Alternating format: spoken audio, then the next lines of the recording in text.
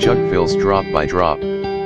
Holding on to anger is like grasping a hot coal with the intent of throwing it at someone else, you are the one who gets burned. Inspirational Buddha quotes.